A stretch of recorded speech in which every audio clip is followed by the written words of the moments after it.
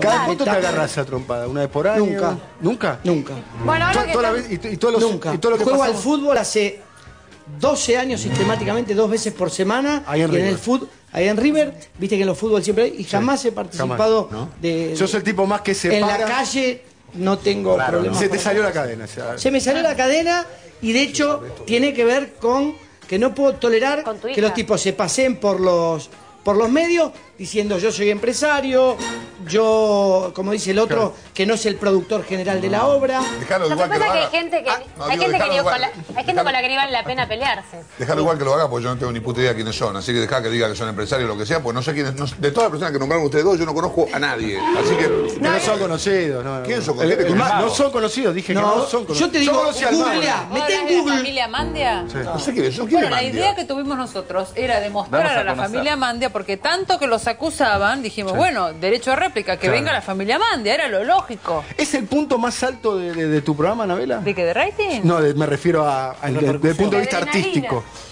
Mira, vos sabés que hoy estaba pensando que lo que es el destino Más o el- vale o el de- karma. No, no, pará.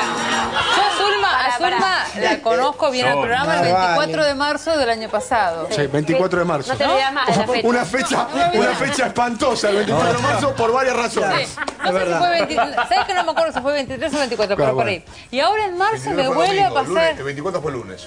No me acuerdo, no, pero ahora en pasado, no, marzo, 24 fue martes, perdón. que fue una explosión lo de Zulma. Sí. Me rompí un dedo en ¿No? el campo. Ahora en Sí. marzo me vuelve a pasar lo mismo, otra explosión. Zulma ¿Te puedo Lobato había, hecho, pregunta? había ido a hacer un contrapiso a Crónica. Zulma. ¿Te puedo hacer una Ha habido como medio oficial albañil a hacer un contrapiso y el trompito estaba roto y hizo el cemento sin el trompito. Todo está combinado, todo está combinado con, con Fratacho. Zulma. Por otro lado, yo le pregunté al señor Kiroski por qué te había contratado a vos.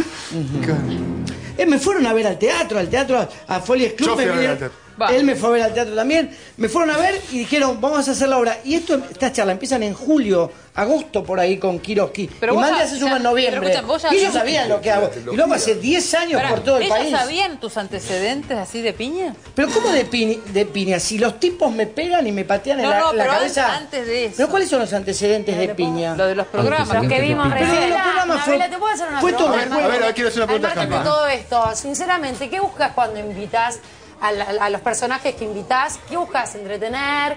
Eh, ¿Que muestren vale. su arte?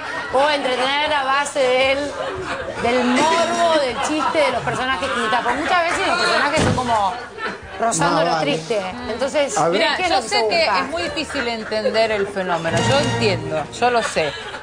Es muy difícil de diferenciar lo que es un bizarro a lo que es un ridículo, ¿no? Porque gente que quiere venir al programa hay muchos, pero Claro. yo, yo los veo y digo, no, este tipo es ridículo, no es bizarro. Yo, para ejemplo, cuando fui por bizarro, por ridículo. Ah, no, no.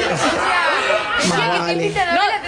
No, no, no, no, no, pero digo, dentro de lo que llamamos personajes, Sí. no todo el mundo es bizarro, Claro. porque es raro. O sea, lo que le llamamos raro tiene que tener determinadas características para que sea bizarro. Bueno, les agradecemos mucho. Vamos a despedirlo a los invitados con un fuerte aplauso. Anabela, un placer. Párate, por favor. Mira qué linda que está Anabela. Pongan una vueltita, Anabela. Mira que es Anabela. Bien, hermosa Anabela. Gracias, Anabela, por venir. Y gracias a, a Torri.